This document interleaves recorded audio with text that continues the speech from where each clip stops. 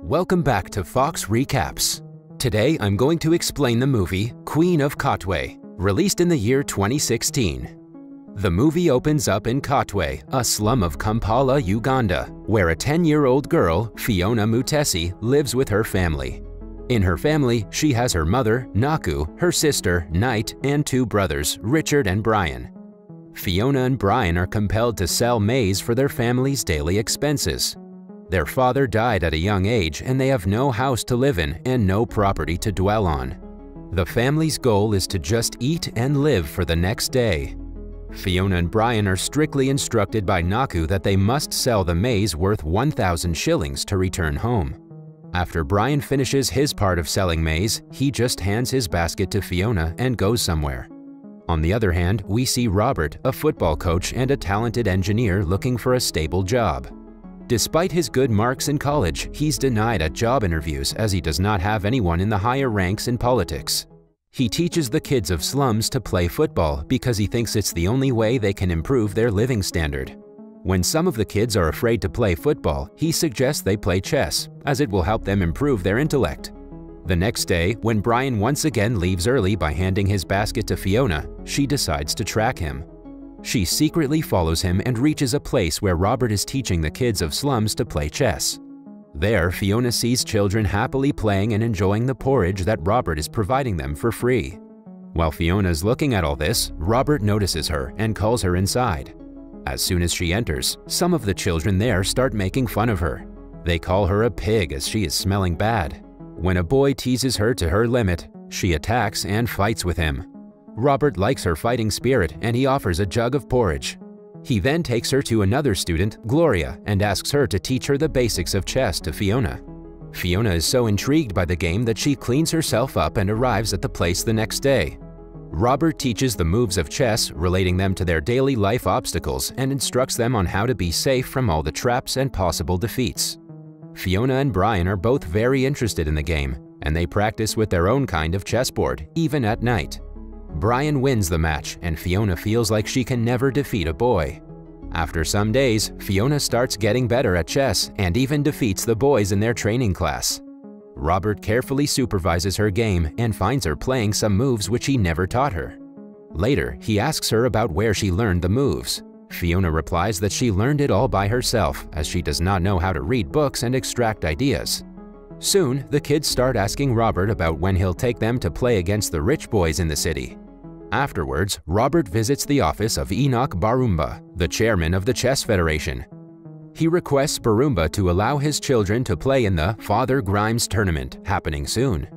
Barumba refuses his request, stating that only sophisticated children will be there and only pointing out that the slum children have no manners and discipline.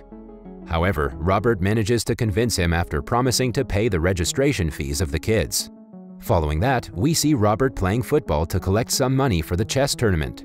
Fiona and Brian also recognize him and cheer for him throughout the game. After the game, Robert directly visits Barumba's office and hands him the tournament fees for his kids. At Robert's home, his wife Hope finds out that he's been playing football for money. She gets angry at him because in the past, Robert had injured himself badly while playing football. Elsewhere, a coal shop owner tells Naku that an evil man is using her children for gambling. Upon hearing this, Naku starts following Fiona and reaches the training place. Here, Fiona defeats the chess champion of Robert's class and becomes the new champion. Shortly after, Naku arrives there and takes away Fiona and Brian, threatening Robert to stay away from her children. The next day, Robert visits Naku and informs her about the advantages of playing chess. He further explains that her children are very good at the game. He also promises to admit the kids to a new school after they're back from the tournament. This finally convinces Naku, who agrees to send her kids to the tournament happening at King's College. The scene then shifts to the kids getting into a van for their journey to King's College. The kids are taken aback after they see the beautiful college and the students wearing similar uniforms.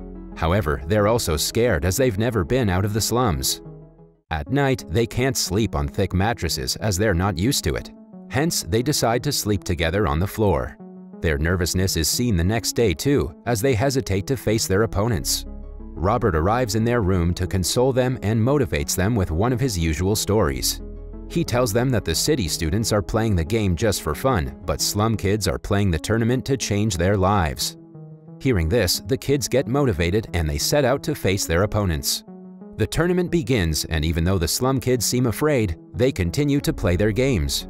Fiona is paired with one of the champions of the tournament. Shortly after, one of the slum kids named Benjamin checkmates his opponent. This sparks confidence inside every player. They face their opposition valiantly, and after some time, Fiona wins the game against the former champion and eventually wins the tournament. She is awarded with a gold medal, and Robert and other kids are ecstatic for her. As they're about to head home, Fiona still cannot believe that she actually defeated a city boy from school. Back in Katwe, Robert introduces Fiona to Hope, who is also a school teacher. He then asks his wife to teach Fiona how to read books. Later that day, Fiona and Brian are selling maize in the market. While they're playing with a toy, Brian gets called by a man from the other side of the road. As he tries to cross the road, he gets hit by a motorcycle. Fiona immediately rushes to pick Brian up and somehow takes him to the hospital. As the family has no money to pay for the medical expenses, Naku quietly sneaks Brian out of the hospital the next day. When they return home, they find their landlady at the entrance asking for their rent. As a result, they're compelled to leave the house and stay at the roadside. That night, Fiona's sister visits them and hands Fiona some money for food. At this moment, Fiona does not feel like playing chess and stays with her mother. After some days, Robert visits Fiona and brings some food for her family. He asks Fiona to play a game with her, but she easily gives up and loses the game. Seeing her demotivated, Robert suggests that she should never underestimate herself and should keep on fighting till the last bit. He also stresses that she has a great talent and should never let it go to waste.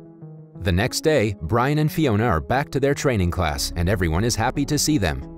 Shortly after, Fiona starts practicing in various tournaments and wins most of them. After getting some money, their family shifts to a new place. One day, Robert gets a call where he's informed that the Slum Kids, aka the Pioneer Kids, are invited for the International Chess Championship happening in Sudan. Excited, he breaks the news to his wife, Hope, who supports and encourages him to take Fiona to the tournament. In the next scene, Fiona, Robert, and two other pioneers, Ivan and Benjamin, can be seen in a plane, ready for Sudan. Inside, they're both excited and nervous as it's their first flight, after reaching there, they practice their moves with the other students, where Fiona gets to know that one can even get paid for playing games.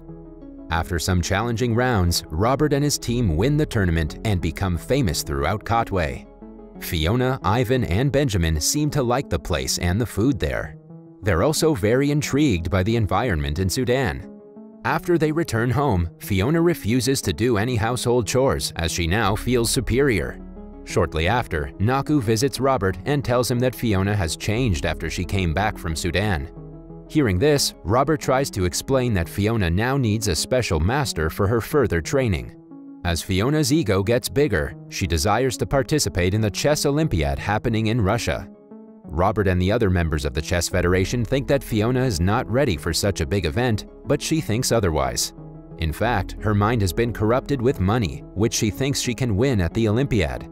In the next scene, Robert takes Fiona to the Olympiad, representing Uganda.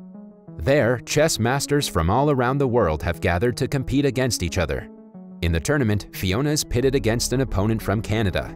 Seeing her overconfidence, Robert warns her to watch carefully before putting forward any moves. Despite Robert's suggestions, Fiona hurries to win the game and as a result, she places some wrong moves and eventually loses the game. Devastated by the loss, Fiona approaches her coach and tells him that she's bad at the game and only knows how to sell maize in her slum. Instead of being disappointed, Robert motivates her by mentioning that losing is part of the game and she should learn from her mistakes. The scene then shifts to Katwe, where Fiona has returned to her regular life with her family. Robert is also offered a job as an engineering supervisor from a company, but he refuses to go there. He feels like he should help the children of the slums to uplift their living standard. When he tells Hope about his decision, she supports him and is happy to help the children. One day, there's a heavy rainfall and Fiona's house is filled with water. Night has again gone out, leaving the younger brother alone. Fiona, Brian, and Naku are also out selling maize, while Richard is being swept away by water. However, he manages to stay still holding a rope. When Naku arrives home after the rain stops, she finds Richard grabbing the rope. Seeing this tragic situation of her family, Fiona goes to Robert's house and asks him if she could stay there for some days. Robert immediately agrees to her request. Later, he also admits Fiona, Brian, and some other students to a school under his expenses. Time passes by, and now Fiona has started playing like a champion. She easily defeats her coach, Robert, within a few moves.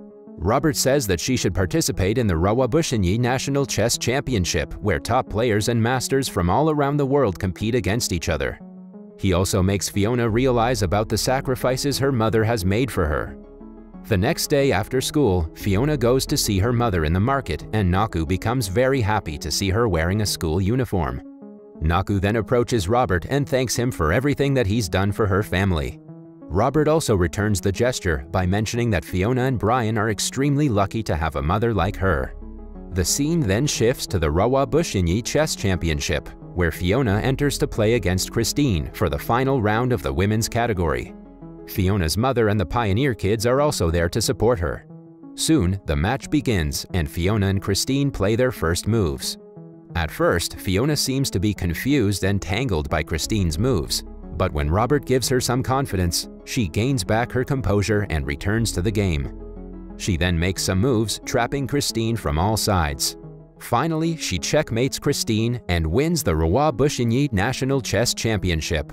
The victory sends Robert and Fiona's family into a state of frenzy.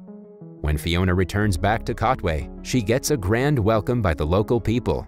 She has now become a symbol of hope for women in Uganda. At last, it is shown that a biography book has been written on the life of Fiona, and she has earned an attractive sum from it. Fiona then takes her mother to another place where she has bought a large house.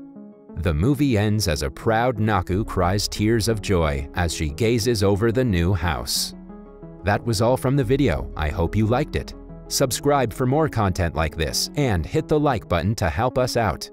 Also, leave a comment if you want us to recap your favorite movie. Until next time, take care.